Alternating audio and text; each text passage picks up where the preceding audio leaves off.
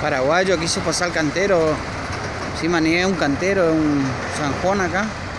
Quiso pasar para el otro lado, venía, a saber que del sentido de Buenos Aires hacia Misiones. Y quiso pasar para el otro lado, para ir a la estación de servicio, la Action ahí. Y se metió un auto abajo el seno.